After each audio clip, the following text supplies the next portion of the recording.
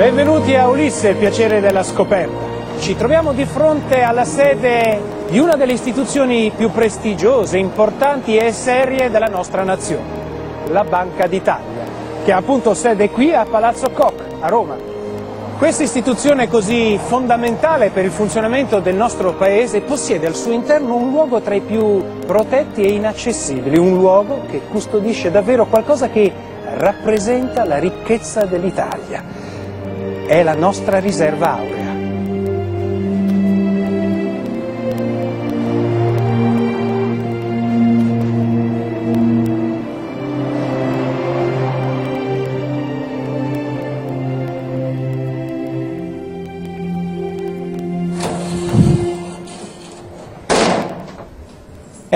Noi abbiamo avuto un permesso del tutto eccezionale per mostrarvi questo luogo, un luogo che ha un nome curioso, la Sacristia dell'Oro. Siamo arrivati, vedete c'è una grande porta corazzata e ci stanno aspettando anche tre alti dirigenti, tre alti funzionari della Banca d'Italia che a turno infilano una chiave. Per aprire questa porta infatti ci vogliono tre chiavi messe una dietro l'altra, operata da tre persone diverse.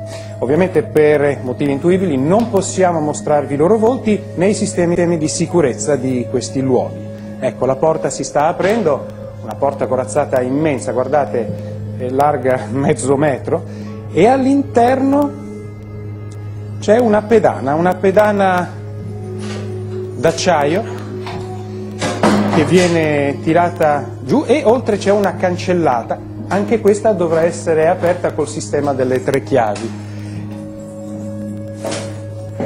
Oltre c'è proprio l'ambiente che conserva l'oro del nostro paese, la ricchezza aurea e che verrà aperta tra qualche istante, questa cancellata.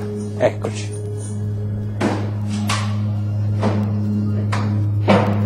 Davvero emozionante entrare in questo luogo. Gli ambienti qui dentro sono semplici, razionali, ma non lasciatevi trarre in inganno perché attorno a noi c'è una delle più grandi riserve d'oro del pianeta. È qualcosa che è talmente distante dalla nostra realtà quotidiana, fatta di orecchini, anellini, eccetera, che è difficile da concepire, è difficile rendersene conto. Io non ho mai visto qualcosa di simile. Migliaia di lingotti d'oro, oro purissimo. Sono immagini rare quelle che vedete, perché qui, come potete immaginare, beh, di solito le telecamere non sono ammesse, anzi è la prima volta che questi ambienti vanno in prima serata. Ma la Banca d'Italia ha ritenuto giusto mostrarli a noi tutti.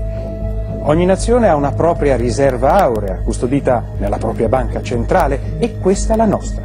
Ma non è tutta qui. Infatti, un'altra parte è custodita strategicamente nelle banche centrali di tre altre nazioni la Federal Reserve negli Stati Uniti, la Bank of England nel Regno Unito e la Banca dei Regolamenti Internazionali in Svizzera. Si rimane davvero senza parole nell'esplorare la sacristia perché in certi punti offre, eh, vedete, delle visioni alle quali noi non siamo abituati e che non si vedono.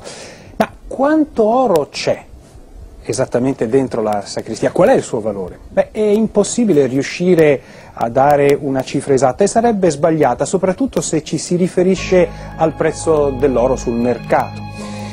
In effetti il valore di quest'oro viene calcolato anche secondo altri parametri eh, stabiliti dalla Banca Centrale Europea che poi indica un prezzo di riferimento. Il valore complessivo poi compare solo nel bilancio della fine dell'anno. Ora, per darvi un'idea, nel bilancio del 2005 la valutazione dell'oro custodito dalla Banca d'Italia era di oltre 20 miliardi di euro, una notevole ricchezza. Le nostre riserve auree sono principalmente costituite da lingotti o verghe, come vengono chiamati eh, tecnicamente, e ce ne sono di tre tipi. C'è il tipo, diciamo così, classico, eh, di forma mh, prismatica, poi c'è il tipo americano, che vedete ha una forma eh, di parallelepipedo, e poi infine eh, la forma a panetto, che è il tipo inglese. Non vi fidate di quello che vedete nei film, in realtà i lingotti pesano moltissimo. Basta prenderne uno, il peso medio si aggira sui 12 kg all'incirca, ecco questo anche un pochettino di più, ma si va dai 4 e 2, 4 kg 2 fino ai 19 kg 7.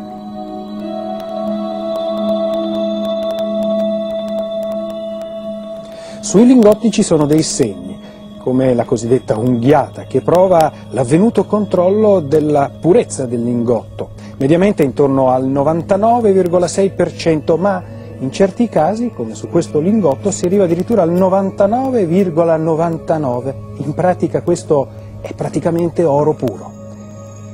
E poi c'è il numero di fusione, lo si vede molto bene qui, su ogni lingotto, una specie di targa di matricola impressa dalle varie officine di fusione col loro simbolo.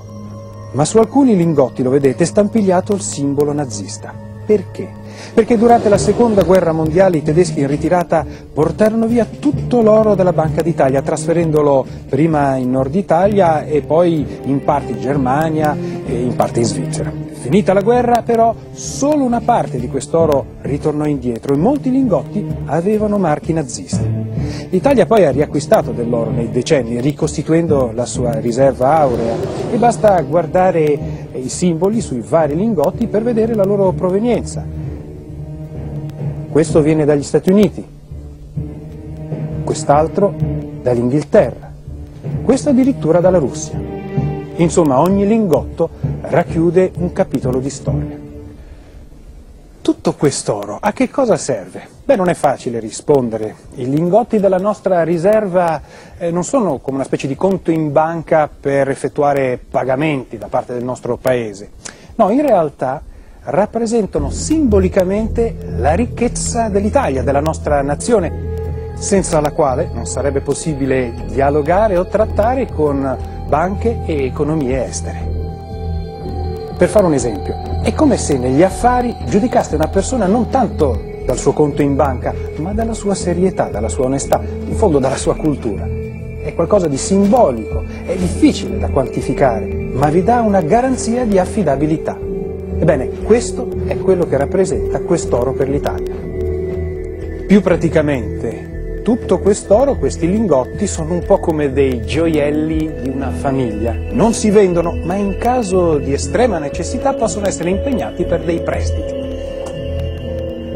Ed è proprio quello che è accaduto durante la crisi petrolifera negli anni 70, quando l'Italia chiese un prestito di 2 miliardi di marchi alla Germania, la quale pretese eh, come garanzia il controvalore in oro, in lingotti d'oro. E qui all'interno della sacrestia un certo numero di lingotti vennero etichettati con la scritta Germania e poi questo debito è stato ripianato.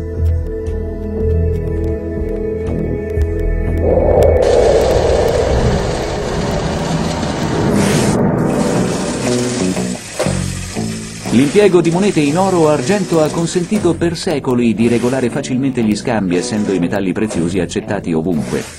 Ma con l'ampliarsi dei mercati, l'oro e l'argento non bastavano più a soddisfare la domanda di moneta. Si è passati così gradualmente all'uso di metalli e materiali non pregiati, fino ad arrivare alla carta. Il valore di ciascuna moneta non è più legato al materiale di cui è forgiata, ma al valore convenzionale indicato sulla moneta stessa. Tuttavia, ancora fino a pochi decenni fa, era possibile recarsi in banca e farsi corrispondere il valore delle banconote in oro. Oggi la convertibilità è stata abbandonata. Gli ultimi ad averlo fatto sono stati gli Stati Uniti nel 1971. A sostenere il valore della moneta non c'è più l'oro, ma la fiducia nello Stato, nella sua credibilità e responsabilità.